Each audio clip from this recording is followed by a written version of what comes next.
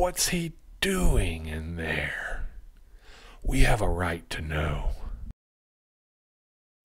Hey guys, in this video I want to show you how to do something that I do all the time and uh, I thought you guys might uh, might find some use for it.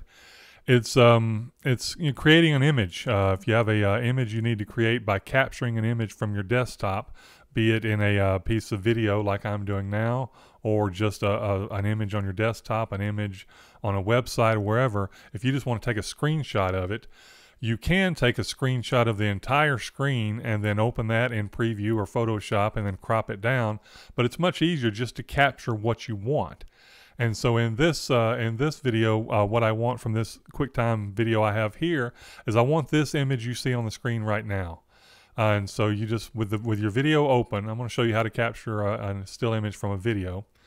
Um, with the video open, you simply go to uh, go to where you want on the video. I'm going to scrub through here. This is different parts of the video. Go to where you want on the video.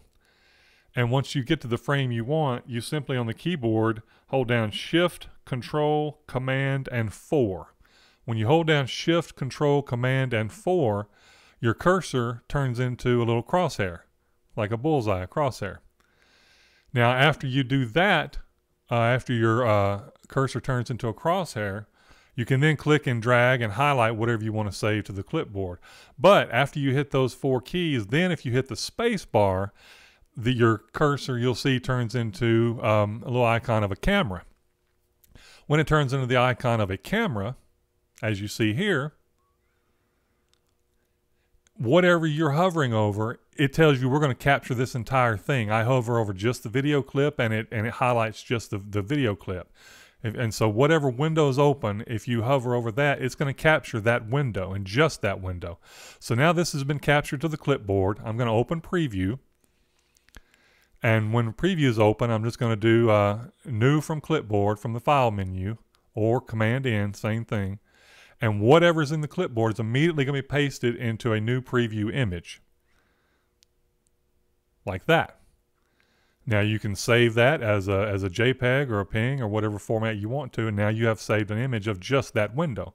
This is the same thing with me just doing Command N. and immediately paste the image, uh, the, the contents of the clipboard into a new image.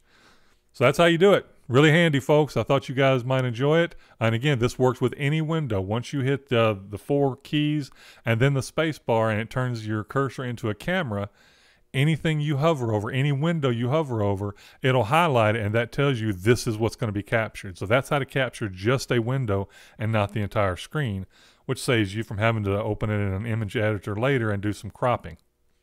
A lot cleaner and a lot quicker.